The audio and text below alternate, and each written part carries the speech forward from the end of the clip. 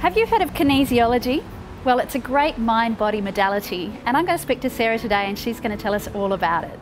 Hi, Sarah, how are you? Hi, I'm well, thanks. How are you? Very well, thank you. Sarah, can you tell me what is kinesiology? Kinesiology is a mind body modality where we test responses from your body's muscles, and because your muscles are hardwired to your brain, it gives us feedback on what might be placing a stress on us in our lives. Now, this can be a stress physically, emotionally, biochemically, but also the muscle testing shows us where there are stresses in our meridian systems, and these we use the meridian system model from traditional Chinese medicine. And so we test the body to find out where there are these imbalances and then find out for each individual person what specific stimulus do they need to help to bring their body back to a state of balance.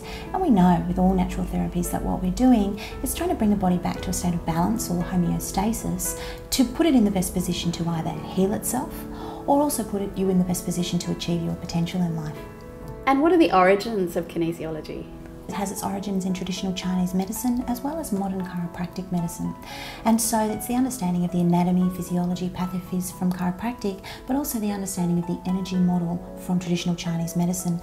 These two uh, modalities were brought together by a, doctor, a gentleman called Dr. George Goodheart back in the 1960s. And he was trained in both of these fields and found that we could use the physical body to tap into these meridian systems and find out where there are imbalances. Can you walk me through what happens in a consultation?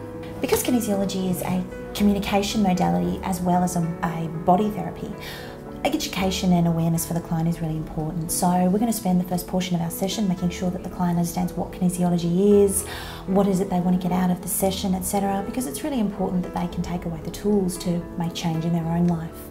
Um, then the client will choose how they want to be, what position they want to be in to do the session. Some people like to sit, some like to stand, most people like to lie down though. So we get the client onto the table and then we'd make sure we're getting clear feedback from the body, so via the muscles, to the brain. So we're going to um, do some little things that we call pre-checks, just to make sure we're getting clear feedback. And then um, we will work through a series of different processes. You know, they vary depending on the type of kinesiology that you're doing. They also vary depending on the outcome that the client wants from the session. So we can be doing anything in a session from rubbing acupressure points through to helping people deal with foods in a more effective way or finding out what foods or supplements are supportive for their body, um, through to clearing subconscious behavioural programs, to all sorts of things. You know, it's, it's really amazing. No two sessions are ever the same because no two people are the same. So it's, it's very individualised for each person.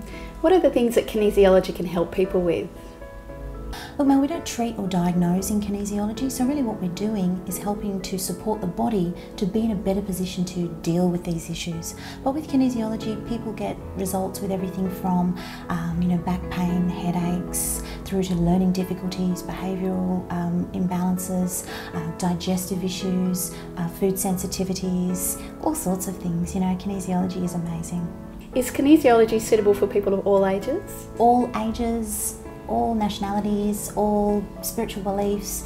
You know, it is an extremely holistic modality that I think everybody can really take something away because if we can all find out what is the trigger inside us that is causing stress, any kind of stress, physical stress, emotional stress, biochemical stress, spiritual stress, then it gives us a great insight to be able to um, connect in with what is the core of an issue.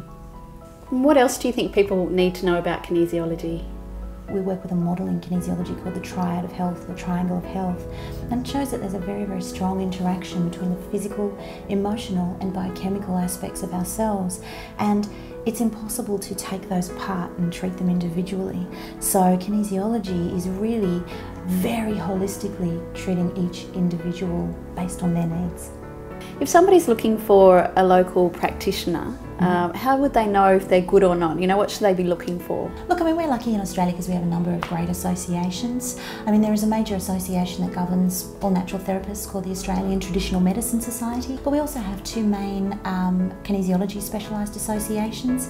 We have the Australian Kinesiology Association and the Australian Institute of Kinesiologists. And what having a practitioner who's a member of an association does is it gives the, the member of the public assurance that that person is, is trained and that that that person has a, uh, a, a solid reputation. Thank you so much for your time, Sarah. Thank you so much.